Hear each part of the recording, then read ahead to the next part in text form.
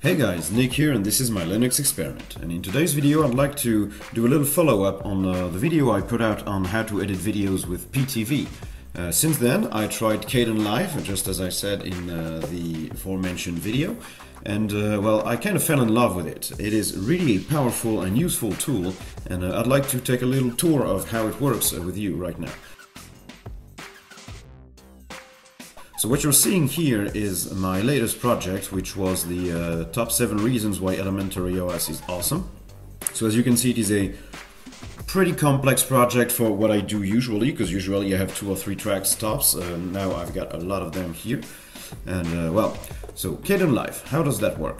Uh, you can find it in the repositories in the App Center, of course. Uh, this is probably not the latest version, but it works really well and is really stable. So it's a, it is a multilinear video editor. As you can see here, you've got all your lanes here, which can host video or audio. You can reorder them, uh, change the size to see more of your clips. Uh, you can rename them, etc, etc. So what you want to do is put all your video clips uh, in the in the different lanes uh, and put all your audio clips in the audio lanes right there. So each clip can be added through this little browser here. Uh, so you can just click on adding a clip and then you can go fetch the one you want. So you select the one you want to add and click OK and it's gonna add it to this browser. So by default you can see it in tree view. Uh, I, here I created folders with this little button here to regroup what, what is audio and what is video. Uh, my regroupments are not that great because I've got here three title clips that have nothing to do in the audio department. So I'm gonna move them down here. If it accepts to scroll, there we go, in the video folder.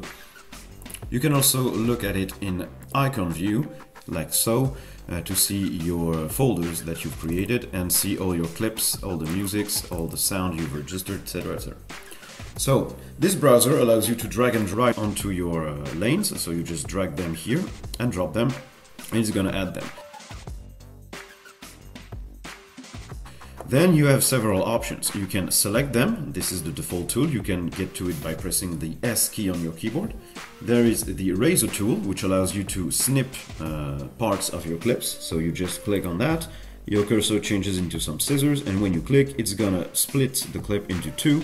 So you can, uh, for example, packages. If I wanted to split this one, I could click here and here and it's now in three parts and if I wanted to delete that one I just click on it with the select tool down there and then delete it To cancel that uh, so that's the basics uh, you have also a spacer tool that allows you to add or remove spaces between clips but uh, I haven't really uh, dabbled in it yet uh, then you have a few buttons down here fit zoom to project which here uh, it will automatically resize uh, this view here to see all of your clips. You've got the zoom out, which allows you to completely unzoom your project just to make sure you can see everything. And this little zoom slider that allows you to increase or decrease the size of each track. As you can see, it modifies the length here of each segment to see a specific portion and be more precise when you need to snip clips. Uh, then you've got a few buttons down here, a split audio and video automatically, which allows you to, when you import a video clip which has audio, it's going to automatically create an audio track and a video track. You also have uh, the ability to show the video thumbnails on or off. I prefer them on so I can see which clips does what. Uh, you have the audio thumbnails here, which I can hide. It basically shows you the waveform of your audio. It's easier to see the pauses when you speak and uh, allows you to trim more easily your clips. And then you have the marker commands. I don't use markers as of yet, but it allows you to put some specific points, uh, maybe to remember where to clip uh, the, the, little videos, etc. So you've got the snap tool, which allows you to uh, snap videos automatically and uh, well I use it a lot because it allows you when you move a clip to make it stick to where it's supposed to do uh, in regards to other clips. So that's a, a, bit easier to manage. So that's basically your editor. Uh, then you've got your tracks. You can rename them insert more delete configure etc uh, in the configuration tracks. You can hide some mute some uh, lock some in place etc and uh, say if you want to composite them or not. So do you want to layer them on top of each other or not here you can see your uh, rendering view. So when you move the cursor on your timeline, you can see it shows you what it's gonna look like at any point. You can also play it to see what happens. So if I just let the video play by itself, I can just let it run like so. Uh, you can of course uh, select a specific track, uh, you can uh, see it in a uh, separate player, you can change the volume here, etc. It's basically a media player just allowing you to see what you're doing right there. So that's the basics. Then what you'll want to do is, well, put your clips into place uh, in the tracks down there, just to make sure that everything is nice and nicely laid out. You need to trim your clips first to make sure that you only show what you want people to see, and uh, that's about it. Then you can get into the effects. So effects are a nice way to add some flair to your video or to your audio. So personally, I don't use them that much. I use a volume effect to boost my microphone volume because it's pretty low uh, if I don't do that. And I use it. I use the mute effect to uh, stop uh, the recordings uh, of the screen to have uh, some parasite parasite noises such as uh, mouse clicks, etc. So that's basically it. You can have you have a gigantic FX browser here, so you just select the clip you want to apply an effect to. You click on effects, and then you have a long list of what you can do. You've got some audio filters, uh, maybe to get some echo or to adjust the volume. You've got some audio channels, some audio correction. Uh, you've got some fade effects, fade in and fade out for audio as well.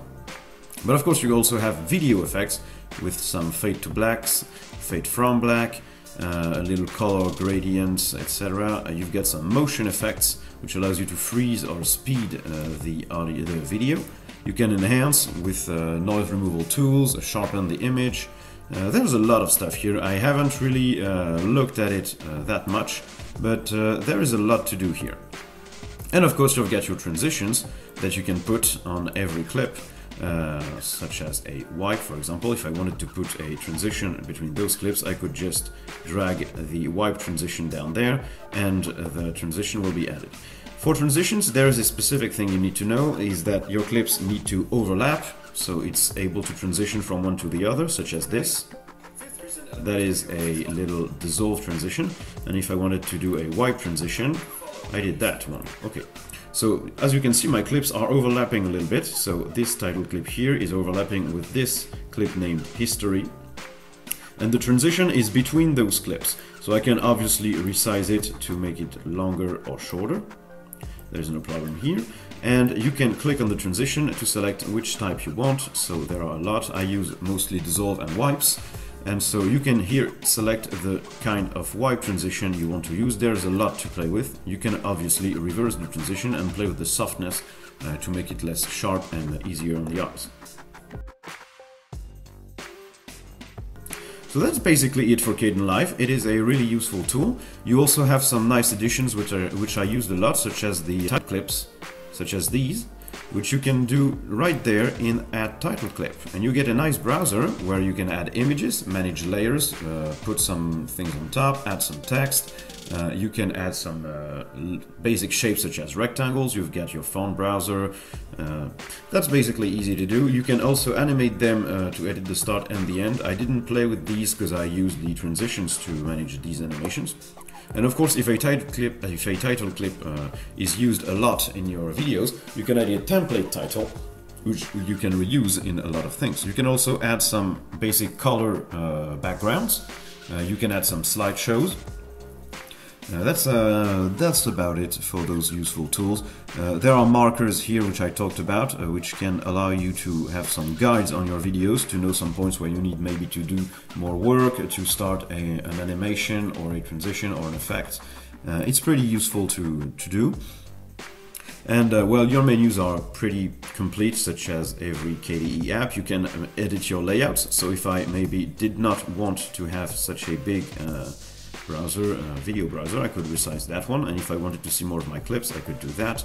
And I can save this layout as a new layout, such as, for example, uh, I could call it Big Browser, which is not that great a joke, but of course it is still a joke. You can load it, so every time you open a new project, you can select the layout you want to do. And you have a lot of little uh, inspectors that you can uh, have, such as, for example, the waveform. So if I select a clip, I can get the waveform of the audio, for example. So, well, I hope you learned a few things uh, during this uh, little uh, video. Uh, I'm obviously still not an expert on video making, and uh, I am only starting to dabble with Kdenlive, but I already enjoy it way more than Pitivi since it is a lot more stable, it doesn't crash as much, it's rendering way faster, I really don't know why, but this uh, video here is, I think, uh, something like 3 minutes and it only took 4 minutes to render. In Pitivi it would have taken me something like 10 or 12 minutes. Uh, so obviously it is way faster, but I really don't know why. You've got a lot of options and the one I really like is that it allows you to export a selected zone. So you can already preview what your project will look like with a nice export, see if the quality suits you without having to render the whole video. So if you have a 40 or 50 minute long video, you don't want to wait an hour to render. So you can just render maybe like two or three minutes of the video, see if the quality is nice, if the audio is audible, and if it's not, you can return here and uh, change those settings. So, well, that's about it. I hope you learned a few things in this video, and, uh, well, I see you guys in the next one. Bye!